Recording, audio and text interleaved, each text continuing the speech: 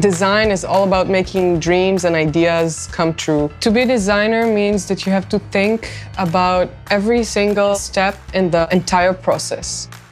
The J55 Prime has made me more creative. If I'm trying something on the computer or in a sketch, it is different when you hold it in your hands. With full color models, we can see much more than you can see out of a render. You can hold it, you can feel the different textures. Throughout the process, we use it as a communication tool between us and the client. Changing from single color to a multicolor printer was a game changer. And today, unlike in the past, we can print and simulate prototypes in a half a million colors.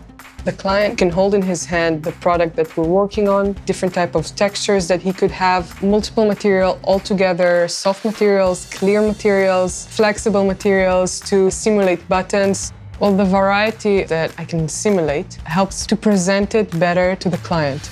I can show things that would not see usually until the end product. Having the ability to print the prototype inside the studio saves a lot of time for us in the product development and for the customer for the go-to market. It's something in your arsenal to make your work better, to make your work faster. The printer sits right next to us. It's quiet, it does its job, it's a part of the team.